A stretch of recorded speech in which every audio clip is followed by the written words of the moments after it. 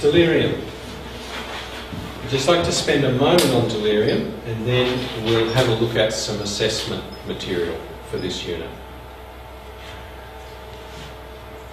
As we mentioned earlier, it's an acute disturbance due to a medical condition, acute disturbance in consciousness, with reduced clarity of the awareness of the environment, due to medical condition, generalised brain dysfunction with impairment in thinking, perceiving and remembering, but the key element here is it's reversible. The causes of delirium are many. Let's think about some of these. Drug intoxication. Often the paramedics are dealing with people in delirium because of drug intoxication. Withdrawal of alcohol or anxiolytic sedatives, metabolic failures due to the kidneys not clearing, so they get uremia, uh, liver failure, cardiac failure, electrolyte disorders.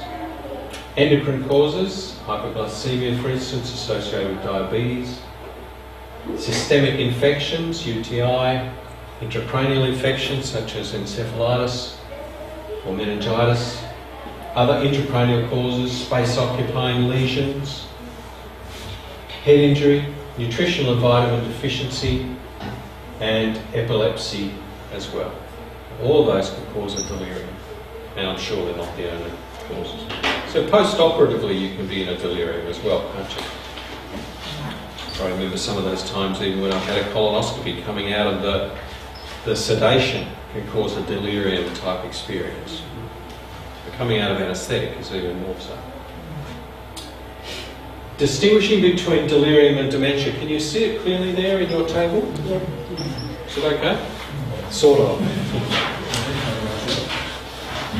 All right. Uh, Ellie, can, can you make a note for me to uh, produce that in a one pager? So here we've got acute onset versus gradual onset, identifiable time of onset versus what they call um, insidious onset. The, the word insidious simply means it's hidden and it happens slowly. Um, the cause is usually treatable in a delirium, but uh, not treatable in dementia.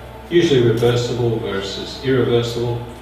Attention is impaired, but in, uh, in dementia, in, attention may not necessarily be impaired.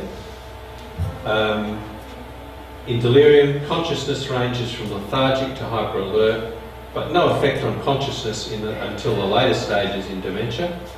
Um, the effect on memory varies in delirium, but loss of memory is pretty um, predictable and changes predictably over the course of dementia. And medical attention is required immediately to prevent dire consequences for delirium, but medical attention is required less urgently within dementia. So these are an important, this is an important table I think just to be clear for yourselves about where the distinctions are. And there will be some questions in your uh, short answer online assessment that you'll need to do about delirium.